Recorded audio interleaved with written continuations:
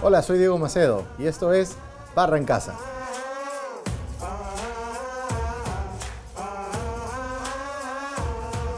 Reencuentro de grandes amigas de toda la vida. Al tocar este tema se me viene a la mente mi mamá, ¿no? Nuestras madres, cuando se encuentran en casa y suelen hablar y tocar esos temas tan interesantes que suelen tener ellas. Y siempre les gusta a nuestras mamás homenajear a las diferentes personas.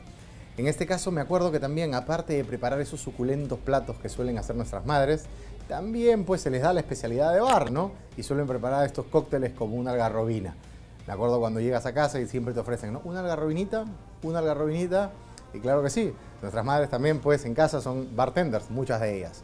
En esta oportunidad vamos a recrear esos grandes cócteles que hacen nuestras madres y vamos a hacer una algarrobina y un cóctel clásico de pisco con fresa, que también se suele beber mucho en casa. Bueno, nos encontramos en Parrot Shadow, aquí en Miraflores, el bar de mi amigo Nandito Córdoba, y ahora les vamos a preparar su algarrobina. Número uno, pisco. Ya saben, el pisco de su elección, el que ustedes prefieran. Vamos con las dos onzas de pisco. Igual, leche evaporada.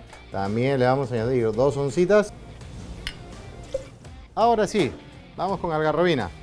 Algarrobina, normalmente, como es tan densa, yo sí recomiendo eso sí, no pasarlo al, al oncero, porque luego es complicado la cuchara. Entonces, eso más o menos a, a, ojo, pero más o menos lo que hacemos es echarle también como que unas, unos cuatro toques así largos. Ya la algarrobina es bastante, bastante densa, entonces hay que trabajarla bastante. La gran mayoría de ustedes habrá visto que este cóctel se prepara en licuadora, ¿no es cierto? Como hemos visto alrededor de todos nuestros programas, nosotros tratamos de dejar la licuadora y trabajar en coctelera, porque nos va a ayudar mucho más al tema de el hielo diluya la cantidad necesaria de agua, más no se integre totalmente como agua en el cóctel. Una oncita de jarabe de goma y ahora sí, añadimos el huevo. Hay mucha gente que le gusta ponerle, hay mucha gente que no, porque dice que huele mal, pero no, es indispensable poner la yema del huevo dentro del cóctel. Ponemos ahí, la yema del huevo. Han visto que no le he echado hielo, ¿no es cierto? No hay hielo, porque vamos a hacer lo que ya hemos visto en otros programas. Dry shake, batido en seco, que nos va a ayudar a montar. Hay que batir fuerte, hay que batir fuerte, fuerte, fuerte, fuerte, fuerte para que monte bien, ¿ya? Fuerte y largo. Entonces se va a agarrar bastante consistencia dentro.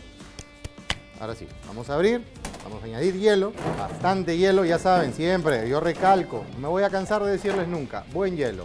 Ahora sí, vamos a cerrar nuestra coctelera y vamos a batir. Batimos fuerte y largo igual, ¿ah? ¿Ya? Ahora sí, abrimos nuestra coctelera y nuestro colador de gusanillo.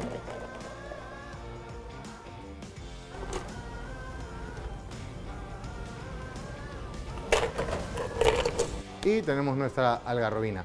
En algunos casos hay gente que le gusta echarle su canelita encima o un poquito de chispas de chocolate. Eso ya depende de la elección de cada uno en casa. Porque quieran hacerlo, lo hacen sin ningún problema.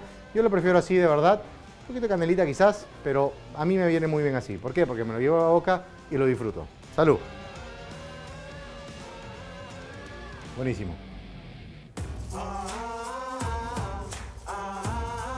Cóctel de fresa.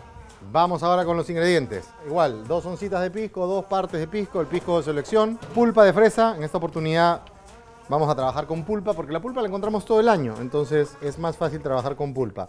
Vamos a añadirle también dos onzas de pulpa de fresa para que tenga bastante sabor a fresa.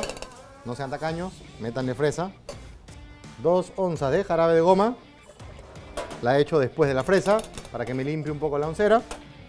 Y ahora vamos a añadirle un dash de limón para darle ese toque más cítrico. Vendría a ser como un daiquiri, en realidad si cambiamos acá el ron, por, un por el pisco, perdón, por un ron, queda como un daiquiri, ¿ya? Cerramos bien nuestra coctelera y batimos.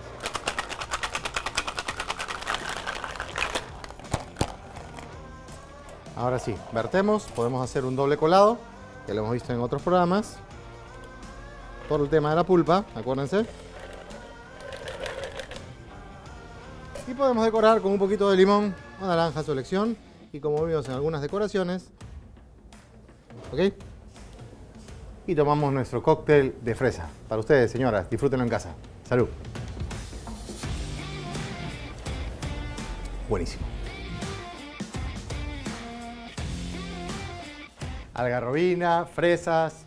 Acabamos de ver cócteles en los cuales, por ejemplo, una algarrobina es bueno comprar, mm, si tienen amigos que vienen del norte, que les manden una del norte, porque allá se hace la buena algarrobina, del algarrobo. En el caso de las fresas, sí, cuando no es temporada podríamos usar pulpa, pero también lo podemos reemplazar por durazno en lata o durazno natural. Eh, inclusive muchas veces yo he llegado a tomarlo hasta con un tan de, de sobre. Sí. Bueno, no se olviden, tome para disfrutar, no para emborracharse. Chao.